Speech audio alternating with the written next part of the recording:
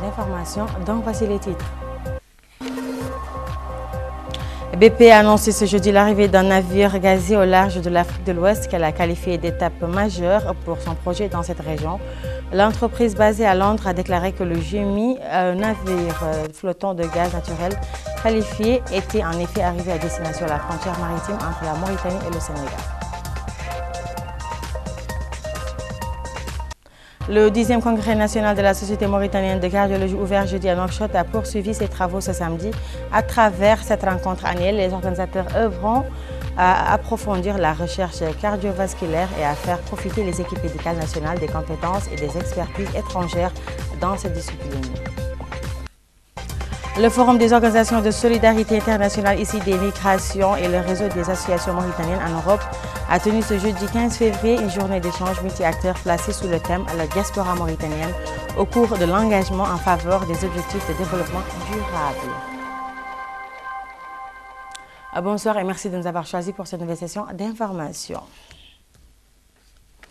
BP a donc annoncé ce jeudi l'arrivée d'un navire gazier au large de l'Afrique de l'Ouest qu'elle a qualifié d'étape majeure pour son projet dans cette région. La Major pétrolière basée à Londres a déclaré que le Jimmy, un navire flottant de gaz naturel liquéfié, était arrivé à destination à la frontière maritime entre la Mauritanie et le Sénégal. Le navire est exploité par BP Cosmos Énergie, la société pétrolière Petrosen basée à Dakar, au Sénégal, et la société pétrolière mauricienne. SMH. Le gaz sera transporté par gazoduc jusqu'au navire FLNG sur la plateforme GTA où il sera refroidi par cryogénie dans les quatre trains de liquéfaction du navire et stocké avant d'être transféré sur des méthaniers. Jimmy peut stocker jusqu'à 125 000 m3 de GNL. Le projet devrait produire du GNL pendant plus de 20 ans. Selon BP, le navire méthanier a une capacité de stockage de 125 000 m3 et l'ensemble de l'installation mesure environ 300 mètres de long. Le 10e congrès national de la Société mauritanienne de cardiologie ouvert jeudi à l'ancien palais des congrès a poursuivi ses travaux ce samedi.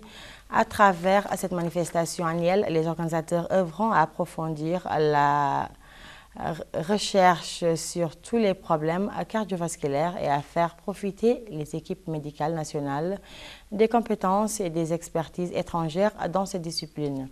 50 spécialistes et experts du domaine venus de 10 pays du Maghreb, d'Arabie saoudite, de pays d'Afrique de l'Ouest, de France et d'Italie participeront à la conférence en plus du diagnostic des points faibles et de la découverte des nouvelles opportunités d'amélioration à la lumière de l'accélération des progrès scientifiques et technologiques. Cette réunion sera l'occasion d'un enrichissement mutuel d'une solidarité pardon, et d'un engagement renouvelé pour obtenir plus de succès. Fafana Issa y a participé pour nous. Je vous propose son compte rendu.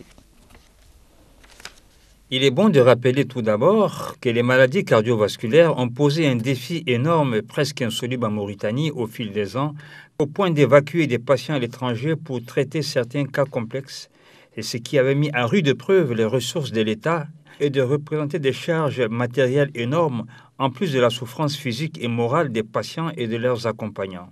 À ce jour, le pays dispose désormais d'un centre de maladies cardiovasculaires entièrement équipé avec des staffs nationaux et des compétences qui prennent en charge le patient dès son arrivée à l'hôpital, depuis la consultation jusqu'aux opérations cardiaques les plus délicates et les plus complexes si nécessaire. Dans une allocution prononcée à cette occasion, la ministre de la Santé, Mme Naha Hamdi Mouknas, a salué cette rencontre qualitative et cet esprit de persévérance qui caractérise la Société mauritanienne de cardiologie à travers ses contributions de qualité à la promotion et au développement du domaine de la cardiologie. Pour sa part, le président de la Société mauritanienne de cardiologie, Khaled Oulbeye, a rappelé que les sessions programmées aborderont les derniers développements en matière de cardiopathie interventionnelle, d'hypertension, de faiblesse du muscle cardiaque, en plus de la cardiomographie, de l'imagerie cardiovasculaire de la chirurgie cardiovasculaire et de la réadaptation cardiaque. Il sa satisfaction de constater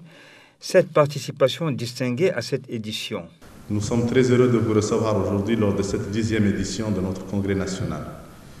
Votre présence rehausse le niveau scientifique et, et nous fait honneur. Nous vous remercions pour tous les sacrifices que vous avez faits. Certains de vous ont pris des vols très fatigants pour arriver hier soir très tardivement. Et ce matin, vous étiez tous en salle. Merci beaucoup. Merci à tout le monde. Mais cette rencontre a aussi rendu un vivant hommage aux dinosaures et précurseurs de la cardiologie mauritanienne, que sont entre autres les éminents professeurs Ba Mohamed Lemine et Deda Limjid. J'ai côtoyé ultérieurement Dr Deda lorsqu'il est devenu doyen de la faculté de médecine de Nouakchott. Et comme d'habitude, il a tout fait pour non seulement assurer et contribuer à la formation d'excellents médecins mauritaniens à la faculté localement, mais aussi à la création et à la formation de spécialistes mauritaniens. Euh, et, et je suis fier actuellement, très très positivement, chaque fois que je viens en Mauritanie, je constate que les avancées étaient énormes par l'intervention de beaucoup de Mauritaniens locaux. Justement, ces Mauritaniens locaux, comme le soulignait le professeur, précurseurs de la cardiologie en Mauritanie ou promoteurs de concepts nouveaux en la matière, ont été honorés de première main, dont entre autres celle de la ministre de la Santé et du gouverneur de Nouakchott et cela à travers des trophées honorant leur engagement, leur talent, leur courage, leur civisme pour mettre à niveau et aux normes requis le plateau technique national dans le domaine. Il faut rappeler que cette année, la rencontre s'est tenue sous le slogan, et je cite, Hygiène hospitalière et qualité des traitements. Justement, sur cette problématique, une des éminentes professeurs présentes à la rencontre, notamment le professeur en cardiologie Ramia Hamimi, dans le coulisses du congrès et à notre micro, plante le tableau de comparaison des paramètres de la prise en charge entre l'Afrique et l'Occident à travers le cas de la Tunisie. On compare la population maghrébine et la population européenne. Chez nous, on a une explosion des facteurs de risque cardiovasculaire, une explosion du diabète, de l'HTA, de la dyslipidémie, du tabac. Par exemple, si je prends l'exemple de la Tunisie, on est à un Tunisien sur cinq de diabétiques, un Tunisien sur trois hypertendu, un Tunisien sur trois de dyslipidémie. Et le problème, c'est que euh, ces facteurs de risque cardiovasculaire ne sont pas bien contrôlés. C'est-à-dire si on prend par exemple le diabète, seulement un diabétique sur cinq, il est bien contrôlé. Seulement un hypertendu sur deux, il est bien contrôlé. Donc on n'a pas le même type de population. Notre population, elle est considérée à très haut risque cardiovasculaire. Donc du coup, on ne peut pas utiliser les mêmes moyens. Ça, euh, donc, euh, d'une part. autre chose, c'est que on n'a pas les mêmes outils, on n'a pas l'accès à la santé de la même façon, de, point de vue sécurité sociale, de point de vue médicaments. Dieu merci que en Tunisie maintenant on est en train de euh, produire des médicaments génériques, c'est-à-dire c'est de l'industrie locale et euh, on dispose de plusieurs nouveaux médicaments. donc c'est pourquoi les choses sont devenues un tout petit peu facile par rapport au reste des, pays du Maghreb. Euh, et euh, chez nous, en Tunisie, on a commencé à travailler sur un autre concept, c'est le développement des recommandations nationales adaptées à nos propres data, et ceci en se basant sur les data déjà euh, préparées avec la Société tunisienne de cardiologie. C'est des data nationales avec participation du secteur privé et du secteur il est à rappeler que cette assise de la Société savante en cardiologie réunie en Nouakchott est prévue pour se poursuivre jusqu'à ce samedi 17 février. Euh, toujours sur le volet, la ministre de la Santé et avant de prendre part au congrès des cardiologues, Mme Naha Hamdi a signé ce même jeudi à Nouakchott un mémorandum d'entente avec le coordinateur général du comité interministériel, pardon, du comité ministériel permanent de coopération scientifique et technologique de l'Organisation de la coopération islamique, M. Mohamed Iqbal Chaudhary. Le mémorandum comprend la préparation d'un programme de formation des médecins, des infirmières et des techniciens à l'université de Lahore au Pakistan et la fourniture d'opportunités aux étudiants et aux cadres scientifiques proposés par le ministère de la Santé l'Université de Lahore et Comstech apporteront un soutien important au développement professionnel et à l'amélioration des activités scientifiques et éducatives grâce à l'extension par l'université de tous les bénéficiaires de ces formations des frais de scolarité et de logement aux chercheurs, en plus de l'appui assuré par Comstech. Ces programmes permettront le développement des ressources humaines du secteur, en particulier dans le cas de l'imagère l'imagerie médicale, des techniques de laboratoire et de la nutrition. Le mémorandum a été signé en présence du secrétaire général du ministère. Le ministre de l'économie Abdesalam Oul Mohamed de Salah a aussi signé jeudi, mais à Rome, avec le directeur régional pour l'Afrique de l'Ouest et du Centre au Fonds international de développement agricole Bernard Han, une convention de financement complémentaire pour la gestion durable des ressources naturelles, projet progrès d'équipement municipal et d'organisation des producteurs ruraux, doté d'une enveloppe financière de 18 696 000 dollars américains. Ce financement vise à soutenir et à améliorer la production et la productivité agricole pour les dépenses faites dans le cadre du portefeuille de projets soutenus par le Fonds Petit et Moyen Barrage, Zones agricoles qualifiées, etc. Selon le ministère de l'Économie, le financement vise également à mettre en place des infrastructures économiques et sociales rurales dans le cadre de l'appui au développement local et à préparer les futurs investissements dans le cadre du 13e cycle de financement du Fonds mondial de développement agricole en Mauritanie.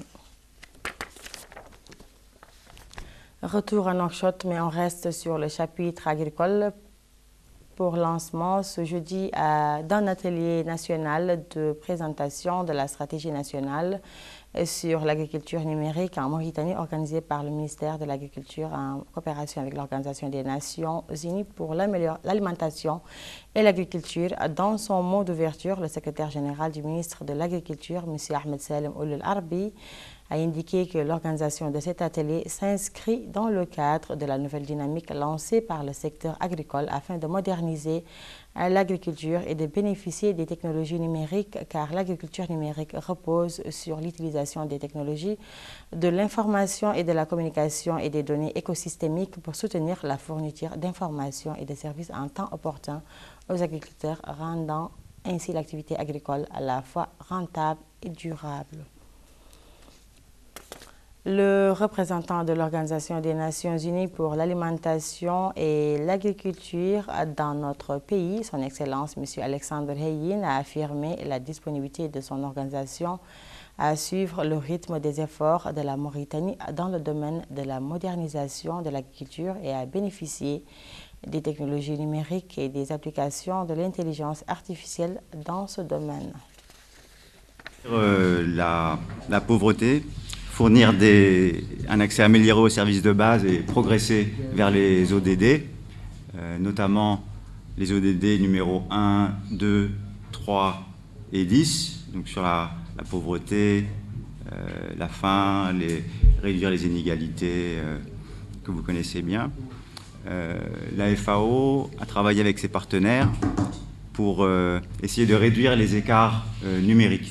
Vous savez, les écarts numériques qui sont présents euh, dans, presque, dans presque tous les domaines, euh, particulièrement entre les, zones urbaines et les zones rurales, où il y a de grands écarts, bien sûr entre les riches et les pauvres, entre les hommes et les femmes. Donc voilà, réduire ces écarts euh, et améliorer l'accès est un objectif important qui a été ciblé. La réunion hebdomadaire du gouvernement a été marquée ce mercredi par deux communications. La première présentée par le ministre des Affaires islamiques sur les préparatifs du prochain pèlerinage et la seconde par son collègue du commerce sur l'opération Ramadan 2024. Daoul Sidi Oul Amar Talib et le Marabot Oul ont donné des éclaircissements dans le point de presse du gouvernement sur les dispositions prises par leurs départements respectifs pour assurer le déroulement de ces deux piliers fondamentaux de l'islam dans des conditions permettant aux fidèles de s'enquêter avec le moins euh, de difficultés possibles. Mohamed Lemin Abdelkader.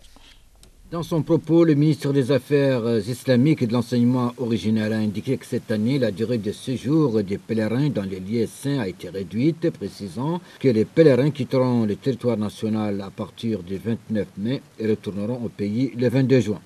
Daoud Omar a fait savoir par ailleurs qu'une augmentation du coût du pèlerinage pour cette année a été enregistrée, expliquant que ceci est dû à des raisons objectives indépendantes de la volonté du gouvernement, telles que la hausse des prix des billets d'avion et des devises étrangères.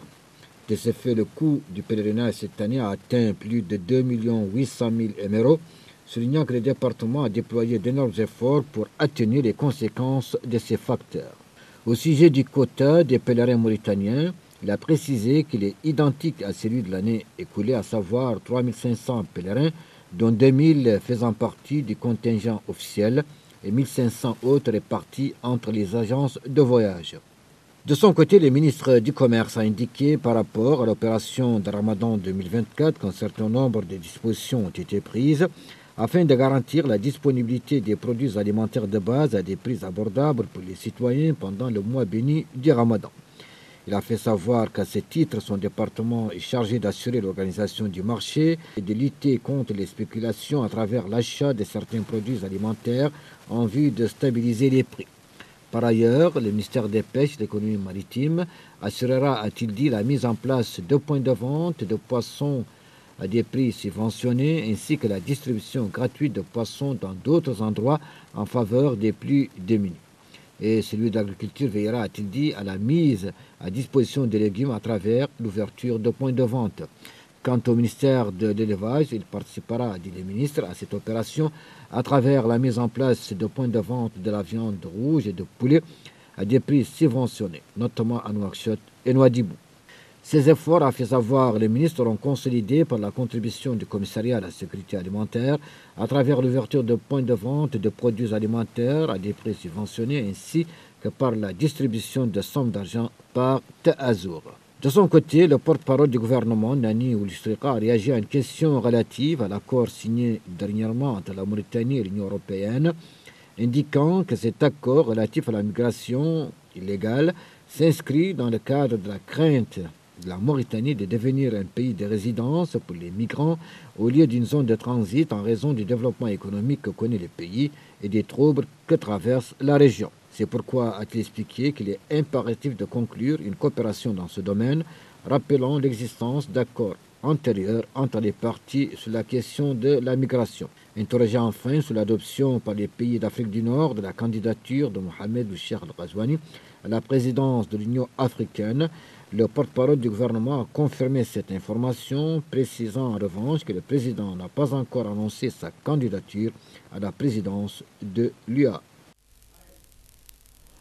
Euh, L'Union européenne s'investit dans la mise à niveau des journalistes mauritaniens dans le domaine de la couverture des élections et de la sensibilisation des citoyens contre les discours de haine et les fausses nouvelles. Son ambassadeur à Nouakchott a concrétisé cet engagement en signant ce jeudi avec le président de la Haute Autorité de la Presse et de l'Audiovisuel une convention dite d'appui des médias pour leur accompagnement en période électorale. S'exprimant à cette occasion, Hussein Meddou, président de la APA, a indiqué que ce projet comporte six volets visant à renforcer les capacités des journalistes, des hommes politiques et de la société civile, à stopper le flux de fausses nouvelles pendant les campagnes électorales et à leur fournir les outils nécessaires pour transmettre des informations justes et impartiales et lutter contre les discours de haine. L'élargissement de la scène politique, la diversité et le pluralisme, ensemble de vivre ensemble sans oublier également la lutte contre les fake news, les discours haineux et la désinformation.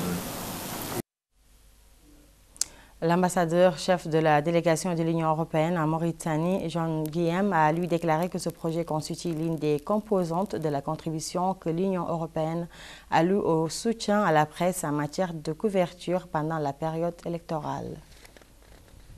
Voilà, dont l'objectif, je crois vraiment, Monsieur le Président, constitue un maillon essentiel pour la démocratie, l'expression du pluralisme et tout ce qui constitue en réalité euh, un soutien fort au vivre ensemble euh, qui est si important.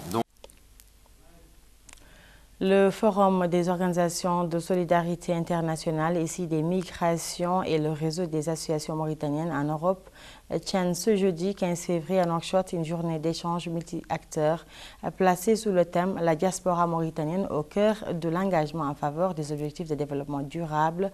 Cette journée d'échange et de partage a pour but d'évaluer l'impact des investissements mobilisés grâce à la diaspora au profit des populations mauritaniennes. On retrouve Fafana Issa qui s'y est rendu pour sa restitution. Cette rencontre intervient, il est bon de le souligner, après une visite de terrain de la délégation commune Fourim et Ram, effectuée entre le 4 et le 14 janvier 2024 auprès d'une quinzaine d'associations bénéficiaires des financements au Guilimaka, au Gorgol, au Brakna et au Trarza. La journée fut l'occasion pour les membres de la délégation de restituer leur parcours à travers quelques interventions, une vidéo de quelques minutes projetée à l'occasion, mais aussi et surtout d'écouter les témoignages des associations bénéficiaires sur le déroulé de leurs actions et le ressenti des populations locales. Des thèmes ont ainsi été débattus au, cours des différentes tables rondes animées par des maires, des députés et des représentants des organisations internationales et de la société civile. Il est à noter qu'entre 2003 et 2022, le Forum a financé 34 projets en Mauritanie qui ont bénéficié à 29 associations pour un coût de 469 643 euros. Monsieur Moussa Dramé, représentant RAM, Alioun Si, administrateur de Forum, Nicolas Laurent, directeur exécutif du Forum, et Christelle Nadeau, chargée de mission au Forum, ont tour à tour rappelé le rôle d'acteur clé de la diaspora dans le co-développement. Dans les coulisses de cette assise, M. Mackenzie, tout-puissant, président du Forum, a bien voulu évoquer à notre micro la contribution et l'accompagnement de son organisation au projet de développement de la diaspora mauritanienne. Et aujourd'hui, c'est euh, une rencontre d'échange multi-acteurs où nous avons invité certaines associations partenaires de nos associations euh, en France pour euh, discuter, voir un peu, faire ce compte-rendu et surtout mettre en échange avec les autorités mauritaniennes, les autorités locales, l'État, le ministère des Affaires étrangères euh, était, euh, est présent aujourd'hui. L'ambassade de France avec euh, l'Agence française de développement sont également présents. Donc il est important dans ce réseau multi-acteurs de dire ce que fait la diaspora mauritanienne en France en direction de la Mauritanie, avec des projets beaucoup dans le sud, ce qui explique qu'il y a une diaspora mauritanienne du sud beaucoup plus présente en France. Les perspectives pour plus tard, ben, c'est avec aussi des recommandations. Et ce partage d'expérience, c'est pour permettre de ne pas faire les erreurs euh, avec euh, des projets nouveaux. Et c'est surtout permettre aussi que les associations des diasporas avec leurs partenaires en Mauritanie trouvent des facilitations avec le gouvernement mauritanien pour permettre que ces projets puissent continuer à bénéficier au maximum de la population, des femmes, des enfants, mais aussi des, hommes. Les domaines d'intervention touchent la lutte contre les inégalités, la gestion des déchets, l'énergie, l'eau et l'assainissement, les AGL, l'agriculture et le développement, la santé, l'éducation et la formation. Une des portées de ce projet, Mme Awa Diabira, toujours à notre micro, ressort le bien fondé de ce concept. Qui m'a incité à, ou nous a incité, moi et les femmes de Diagli, à créer cette association, c'est parce que euh, suite à un voyage en 2016 à Diagli, j'ai trouvé les bords du fleuve incroyablement sales en fait. Et les nouveaux déchets, c'est des couches, du plastique et de tout, de tout et de tout. Donc quand je suis retournée en France, parce que moi j'habite en France au fait depuis 43, quand je suis retournée en France, j'ai parlé à toutes les femmes de mon village et j'ai donc demandé euh, de faire quelque chose, mais en donnant une petite rémunération aux jeunes. Voilà. Donc suite à ça, et donc on a créé l'association en 2017.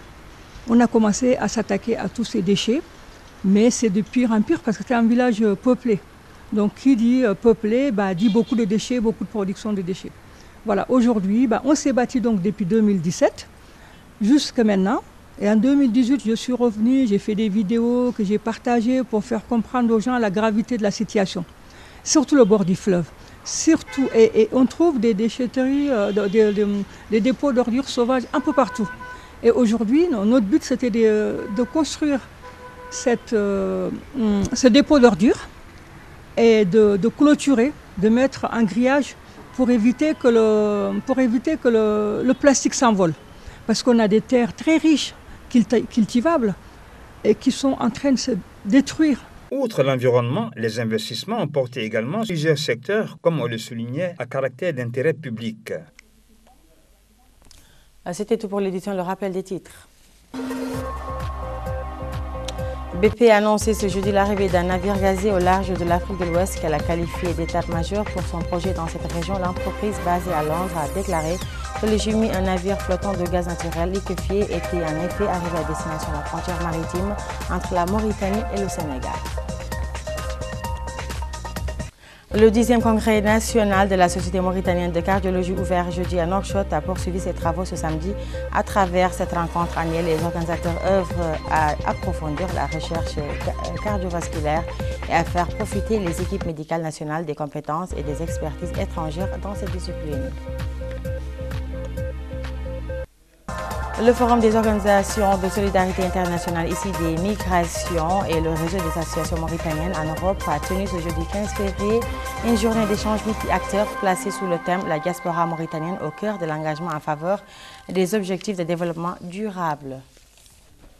Mesdames et messieurs, ainsi s'achève cette édition. Merci de votre attention. Bonne suite de programme, c'est Mourabitoun. Vous pouvez suivre cette édition ainsi que les précédentes sur notre page Facebook dont le contact s'affiche au bas de l'écran. Quant à moi, je vous retrouve demain, Inch'Allah.